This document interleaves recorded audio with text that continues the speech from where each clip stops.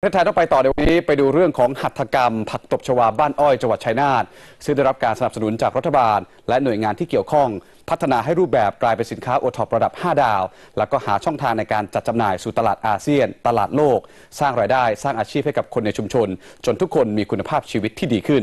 ติดตามเรื่องนี้จากรายงานของคุณยานาตาทีพรเลิศครับ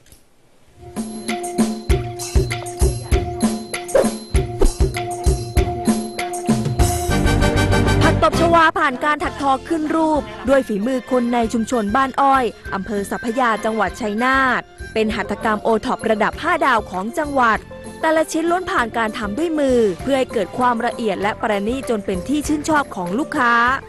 สินค้าแต่ละแบบได้รับความร่วมมือจากหลายส่วนราชการ จนประสบความสำเร็จที่ดีค่ะ จริงๆการทำงานเนี่ยอย่างที่พี่พี่ว่าประสบผลสำเร็จเพราะว่าสามหน่วยงานหลักคือเกษตร แล้วมีเกษตรด้วยนะคือเกษตรเนี่ยจะหาพื้นฐานเดิมของของเส้นใหญ่ แล้วก็พัฒนาชุมชนอุตสาหกรรม แล้วก็สามหน่วยงานแล้วก็มีพาณิชย์ช่วยเชื่อมต่อให้เราถึงไปถึงที่เป้าหมายที่ที่เราจะต้องไป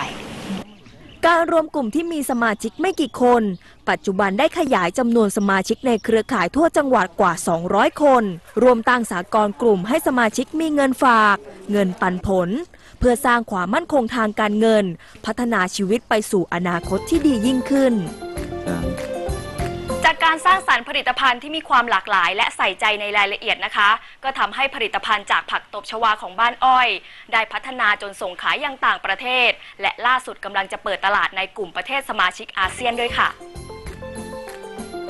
กระเป๋าสาร 3 ชุด รองเท้าถักมือ เป็นสินค้าส่งออกที่นิยมในสหรัฐอเมริกาและญี่ปุ่น ซึ่งปลายปีนี้ประเทศไทยจะเข้าสู่การเป็นประชาคมเศรษฐกิจอาเซียน ได้เตรียมนำสินค้าไปเปิดตลาดประเทศเพื่อนบ้านอีกช่องทาง ขณะที่การตลาดในประเทศ พาณิชย์จังหวัดช่วยแนะนำช่องทางประชาสัมพันธ์ ให้เข้าถึงกลุ่มผู้ซื้อได้มากขึ้นใช้เอ่อกระบวนการทาง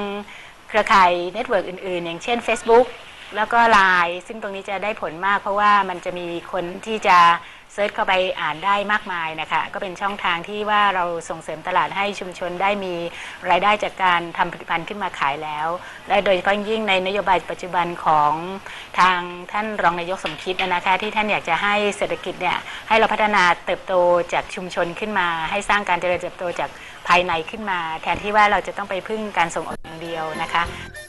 จากภูมิปัญญาชาวบ้านจนพัฒนาเป็นสินค้า 5 ดาวระดับส่งออก นอกจากทำให้คนในชุมชนพึ่งพาตนเองได้แล้ว ช่วงที่ไม่สามารถทำนาได้ จากสารผักตบชวา ยังเป็นรายได้หลักให้หลายครอบครัว ไม่ต้องดิ้นรนกู้หนี้ยืมสินมาใช้จ่าย แถมมีเงินเลี้ยงครอบครัวโดยไม่เดือดร้อนอีกด้วย